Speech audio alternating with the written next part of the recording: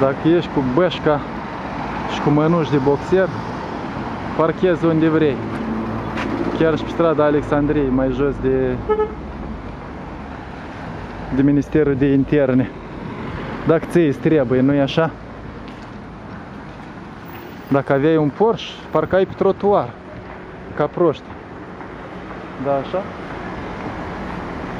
Și este tot cu mănuși de box. Da, așa, parchezi în rândul 2. Ocup toată banda.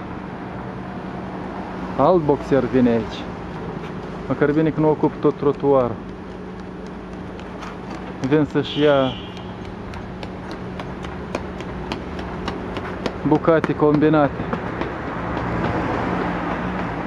Sau dincolo, la Boxing House.